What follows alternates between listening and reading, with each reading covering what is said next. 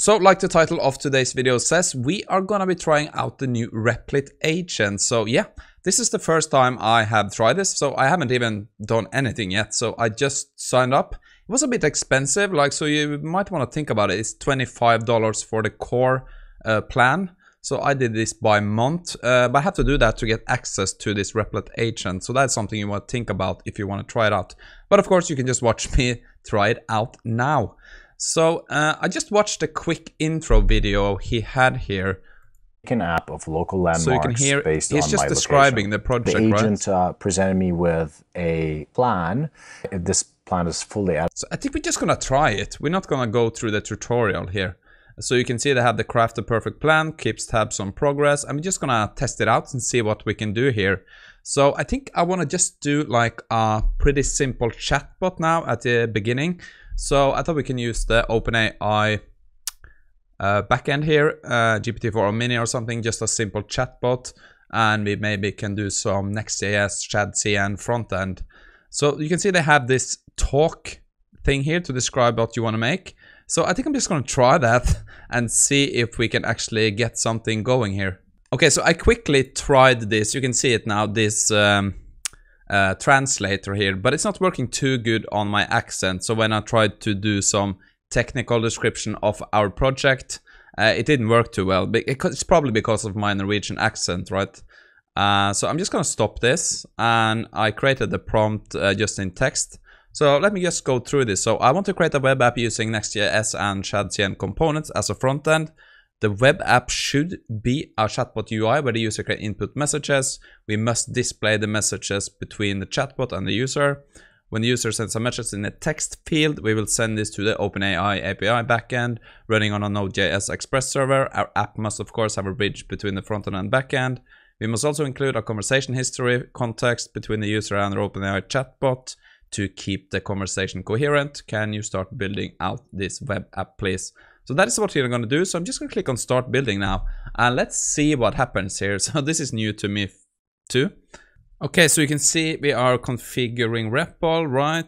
Uh, is this gonna, yeah, okay, so this is gonna take us to kind of a new place here. So you can see this is more like the, um, kind of a new interface, I guess. So you can see thinking, connected, okay, we can X that out. So I guess this is starting now. I'm not quite sure, but I guess it's starting to create like a step-by-step plan. Uh, this has to do that, right? So remember, we want uh, a front end that is Next.js, ShadCN. I don't know if you can do that. I have no idea. Uh, I created a plan using Flask, Vanilla.js, OpenAI. But why did they choose that? I want the front end to be Next.js and ShadCN. Backend should be uh, Node.js with Express. Please. Can we interfere with that?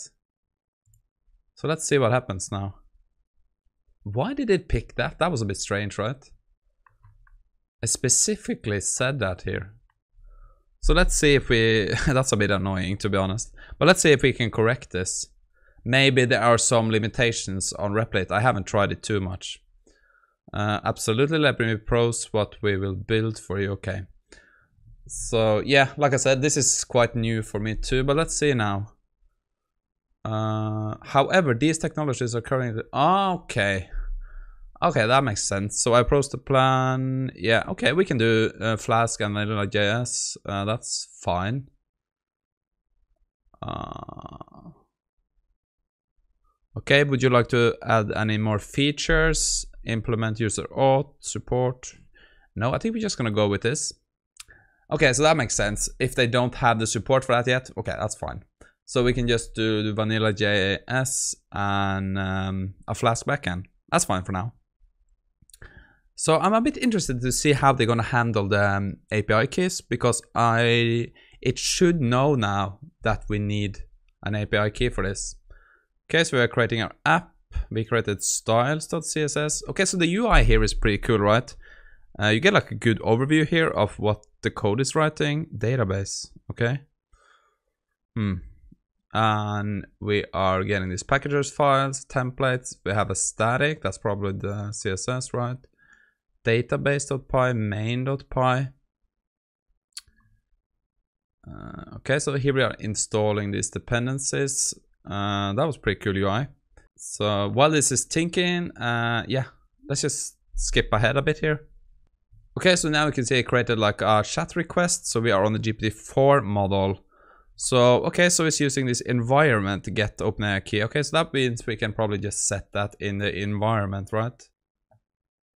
Okay, so you can see here, secrets, key, OpenAI key. So please provide your OpenAI key. Okay, so let me just go grab that. So I'm just gonna paste it in here now and then do add secret, right? That was a pretty, I, I like that. That was a pretty nice way of doing this. Uh, so now we are running the Flask app.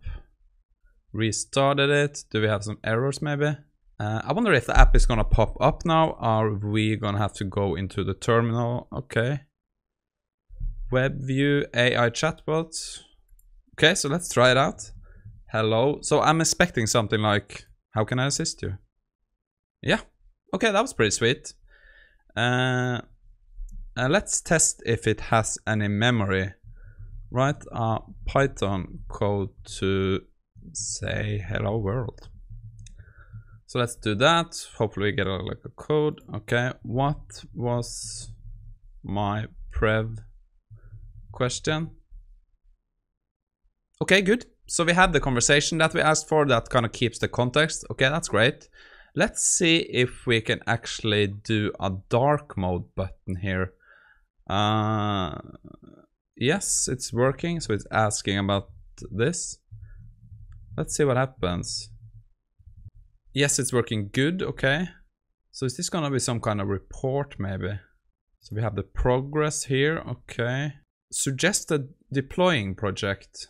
I've completed the plan successfully. The following steps were executed. Okay, so it's kind of like a summary of something here, right? Uh, now let's add a dark mode toggle button. I want to see if we can do that pretty easy. Should we deploy this? Uh, I guess we could. Would be pretty cool to try it. Uh, yeah, we can try that afterwards. So set up your deployment. I think this should be like a one click solution to deploy this. So that's going to be interesting to try, right? Uh, but it was a good start here. Looks pretty neat. Uh, but the thing is like, of course, this does not have existing code base work. So I guess for now, this is just going to be to, to only build small tools you need quickly, right? Because you can't load up a previous existing code base that you built from scratch here, I guess. Okay, so we are uh, doing some styling here. So let's go into styles. Did we do some kind of dark mode here? Okay, we did dark mode. That's pretty cool. Um, is the dark mode toggle button visible and functional? Let me refresh this. I don't see any dark mode button here. Uh, no, I don't see the button. Maybe restart server or app. Let's try that. I don't see any button here. Uh, but maybe if we refresh this, what if we X this out? Okay, so we have some options here. We can search through your files, okay. Code search. So now we stopped running the Flask app. Yeah, I can ask to do a restart. And we are running app. Yeah, okay. Okay, so it is loading. Okay, here we have the dark mode button. Okay, that was pretty neat. Hello? Hi again. Okay. Yeah, that worked pretty good. That was pretty sweet. So, yeah. Pretty neat if you ask me. Uh, I guess the only thing I want to try now, I want to do one more thing after, but let's try to deploy this. Uh, yes, this was good. Uh, good. Uh, I am ready to deploy. Let's try that. I guess there are some costs related to deployment, but uh, I'm gonna try it and see if it works. Uh, okay, um, okay, let's deploy, oops, uh, the app. I guess we can just click here, but I wanna see if we get any instructions down here. I add a step to deploy, okay, on to Heroku, okay. We need to make some preparation, use Heroku CLI. Are you ready to proceed? Uh, I guess so, we just started. uh, we created a Procfile and Gunicorn, restarted the app. Okay, so now we need uh, an Heroku API key. Okay, I think I might have that. So let me just, uh, I'll be right back. Okay, so I'm just gonna paste in my Heroku API key here. And let's see now. Uh, if that is all I have to do, yeah, I'm super happy with that. Okay, so we got uh, deployed to Flask application to Heroku. I'm just gonna click on this to deploy to production. So let's see what this is actually. Uh, okay, so we have this. Uh, I'm just gonna try to keep it as simple as possible. So let's just call it chat bridge or something like that. Dot .replit dot app. Okay. Uh, yeah, I'm just gonna keep it like this. Don't do anything. So I'm just gonna deploy this. And let's see how long this takes now and I'll be right back.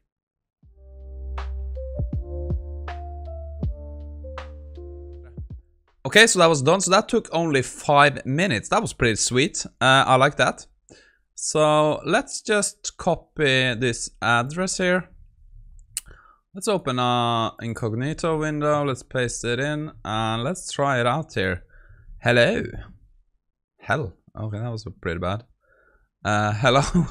Can you uh, write a PI code to calc 5 uh, divided by 5, 4 divided by 5? Uh, okay, seems to be working pretty good. We can do this.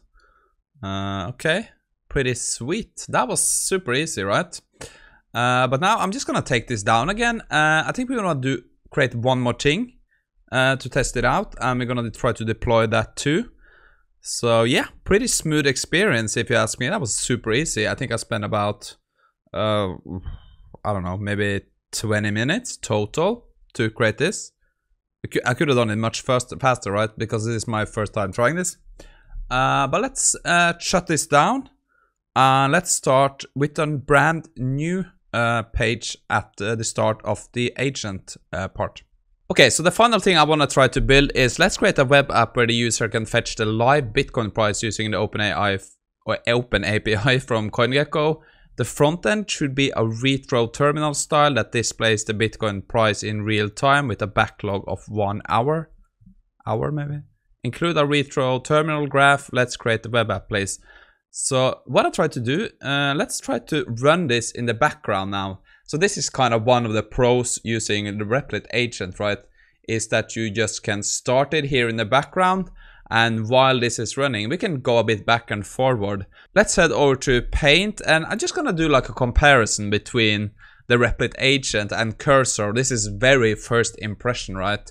Uh, but the first thing I think is Replit is for like uh, I would say new tools uh, or apps, right? So maybe like small apps or something like this. Maybe small tools, small tools or something like this that you need like quick. Uh, I don't see me building like a more complex app. So this is more uh, complex, I would say. Um, right?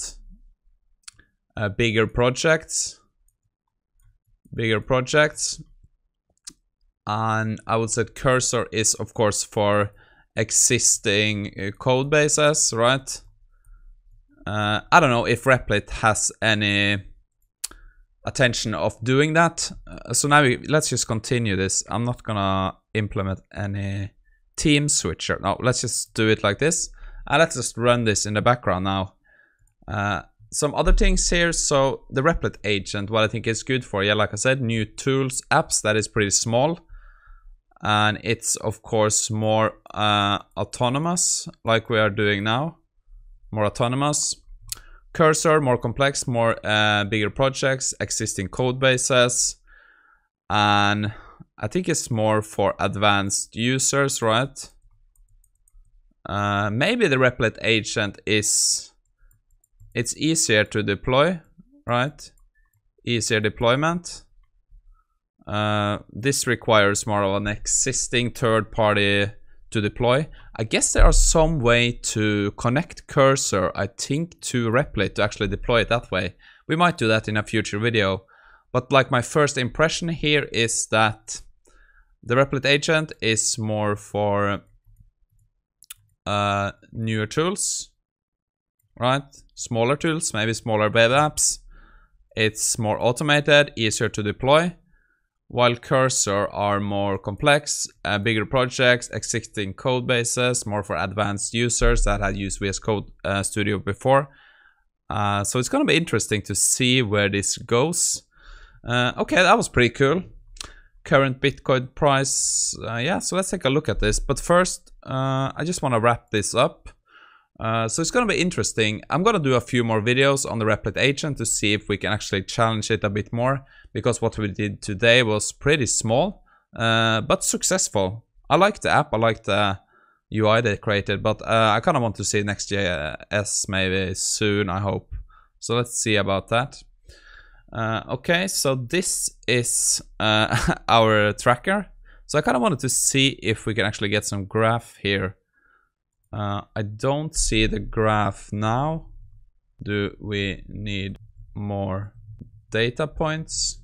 We might need some more data points before we...